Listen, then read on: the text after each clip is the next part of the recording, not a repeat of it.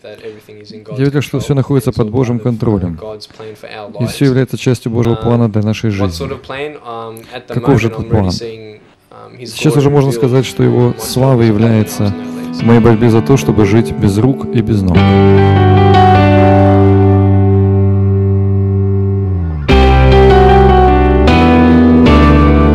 In Christ alone, my hope is found. My light, my strength, my song.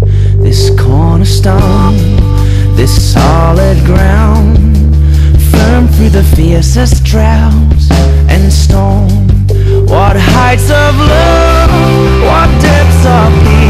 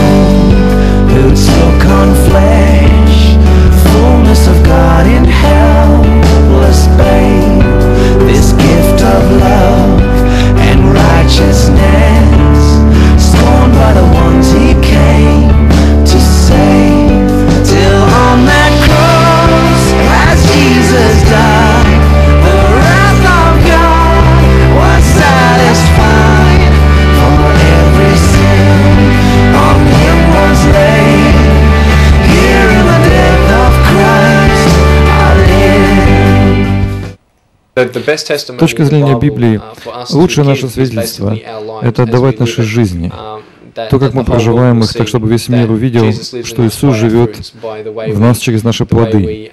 Например, я могу пойти в общественное место, и люди будут тронуты просто моей улыбкой. Поэтому я думаю, что очень важно быть открытым перед Богом, чтобы Он мог использовать нас, и чтобы реализовать Его план для нашей жизни. Я мечтаю быть независимым и жить нормальной, полноценной жизнью. Мне на самом деле хочется убрать ограничения и жить на полную катушку. Поэтому я стараюсь правильно мотивировать себя. Я люблю новые вызовы. Для меня было большой проблемой научиться ходить, чистить зубы и делать все остальные вещи.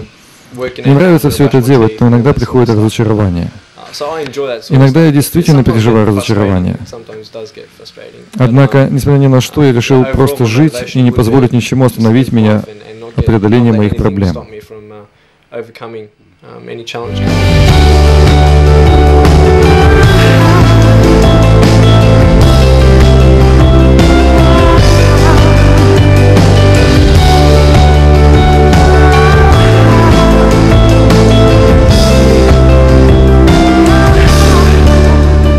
Чтобы преодолеть препятствия, вам сначала нужно увидеть, где вы находитесь и что это за препятствие.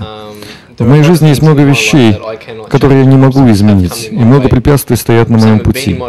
Некоторые из них находятся под моим контролем, некоторые нет. Очевидно, что мое рождение без рук и ног не было под моим контролем. Это большое препятствие.